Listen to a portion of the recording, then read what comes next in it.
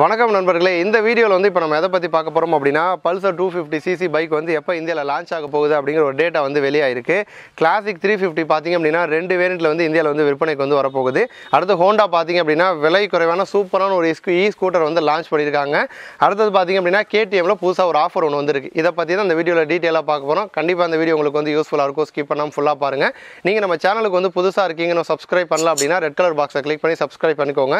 வாங்க இப்போ நம்ம வீடியோக்குள்ளே போகலாம் இப்போ முதல்ல பல்சர்லேருந்து போவோம். பல்சரில் வந்து அவங்களோட இன்ஜின் வந்து அப்கிரேட் பண்ணியிருக்காங்க. அதே மாதிரி வந்து டிசைன் வைஸ் வந்து பெரிய மாற்றம் நம்ம எதிர்பார்க்கல அப்படின்னாலும் சின்ன சின்ன சேஞ்சஸ் இருக்கும்.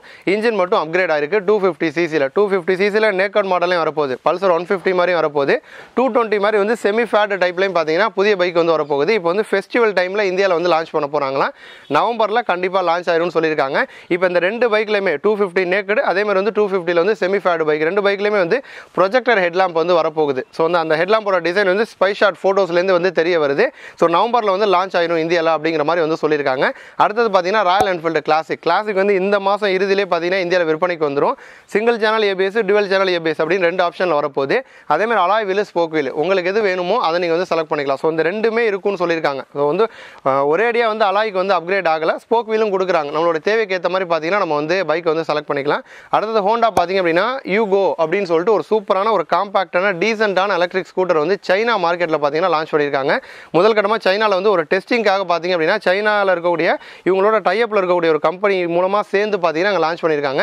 எப்போ வேணாலும் இந்தியா மற்றும் உலக மார்க்கெட்டில் இந்த ஸ்கூட்டர் வந்து விற்பனைக்கு வந்து வரலாம். இப்போ இந்த ஸ்கூட்டரோட ஸ்பெஷாலிட்டி என்ன அப்படின்னா விலை தாங்க. சைனா யுவான் படி பார்த்தீங்கன்னா ஏழாயிரத்தி எழுநூற்றி தொண்ணூத்தொம்பது யுவான் விலையில் வந்து சைனாவில் லான்ச் ஆயிருக்கு. அது அப்படியே இந்தியாவில் கன்வெர்ட் பண்ணிங்கன்னா எண்பத்தி அஞ்சாயிரம் ரூபாய் மட்டும்தான் வரும். இந்தியாவில் லான்ச் ஆகும். இன்னும் கொஞ்சம் கூட வச்சா கூட உங்களுக்கு ஒரு லட்சம் ஒரு லட்சத்தி பத்தாயிரம் அந்த ரேஞ்சில் வந்து ஒரு ஹோண்டா ஸ்கூட்டர் வருது அப்படின்னா கண்டிப்பாக ஏதாவது சும்மா இருப்பாங்க இருப்பாங்களா இந்த ஸ்கூட்டரை நோக்கி தான் போவாங்க. சரி இப்போ இது வந்து லோ ஸ்பீடு ஸ்கூட்டர் அப்படின்னு கேட்டிங்கன்னா லோ ஸ்பீடெலாம் வந்து கிடையாது. ரிஜிஸ்ட்ரேஷன் மாடலில் தான் வந்து வரும்.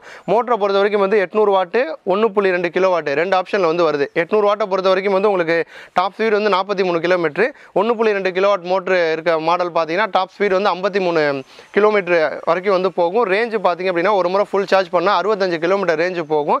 ஆனால் எக்ஸ்ட்ரா ஒரு பேட்டரி வந்து நம்ம வந்து வேணும்னா நம்ம தேவைக்கு தேவை இருந்துச்சு அப்படின்னா நம்ம வச்சுக்கலாம்னு சொல்கிறாங்க அப்போ ரெண்டு பேட்டரி நீங்கள் போட்டிங்க அப்படின்னா அதிகபட்சம் நூற்றி முப்பது கிலோமீட்டர் வரைக்கும் போகும்னு சொல்லியிருக்காங்க.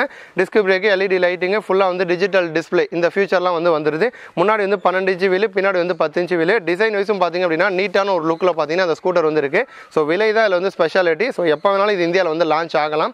அடுத்தது பார்த்தீங்கன்னா ஃபைனலாக வந்து கேடிஎம் வந்து ஒரு ஆஃபர் ஒன்று வந்து கொடுத்துருக்காங்க. பொதுவாக வந்து கேடிஎம் பைக் வாங்குறீங்க அப்படின்னா வாரண்டி ரெண்டு வருஷம் கொடுப்பாங்க. நீங்கள் வாரண்டி எக்ஸ்டெண்ட் பண்ணணும் அப்படின்னா ஒரு எட்நூறுபாயிலேருந்து ஆயிரத்தி ஐநூறுபா வரைக்கும் செலவு பண்ணணும். டேக்ஸ் இல்லாமல் அதேமாதிரி வந்து ரோட் சைடு அசிஸ்டன்ஸ் வேணும் அப்படின்னா ஒரு ஆயிரம் ரூபா வரைக்கும் நீங்கள் வந்து செலவு பண்ணுற மாதிரி வந்திருக்கும். இப்போ கொடுத்துருக்க ஆஃபர் என்ன அப்படின்னா இந்த ஆகஸ்ட் பதினேழுக்கு பிறகு நீங்கள் வந்து கேடிஎம் பைக்கோ இல்லை ஹஸ்கோர்னா பைக்கோ வாங்குறீங்க அப்படின்னா வாரண்டி வந்து நீங்கள் பணம் கொடுக்காம உங்களுக்கு வந்து எக்ஸ்டெண்ட் பண்ணி ஃப்ரீயாக வாரண்டி வந்து எக்ஸ்டென்ஷன் வந்து கொடுக்குறாங்களா? ரெண்டு வருஷத்துலேருந்து அஞ்சு வருஷமாக கொடுக்குறாங்க. ஸோ இது வந்து ஃப்ரீ காஸ்ட் ஒரு ஆயிரத்தி ஐநூறுபா உங்களுக்கு வந்து சேவ் ஆகும். அடுத்து பார்த்தீங்கன்னா ரோட் சைடு அசிஸ்டன்ஸும் உங்களுக்கு வந்து ஃப்ரீயாக கொடுக்குறாங்க. அது ஒரு ஆயிரரூபா வரும். ஸோ உங்களுக்கு வந்து ஒரு ரெண்டாயிரத்தி ஐநூறுரூவா வந்து இப்போ கேடிஎம் பைக்கை நீங்கள் வாங்குனீங்க அப்படின்னா வந்து மிச்சம் பண்ணலாம். வாங்கணும்னு பிளானில் இருக்கவங்க வந்து இந்த ஆஃபர் வந்து யூஸ் பண்ணிக்கோங்க. இது போன்ற இன்னும் பல ஆட்டோமொபைல் சம்மந்தமான அப்டேட் செய்திகளை வந்து நீங்கள் தெரிஞ்சுக்கணும் அப்படின்னா நம்மளுடைய சேனல் வந்து சப்ஸ்கிரைப் பண்ணுங்கள் நன்றி.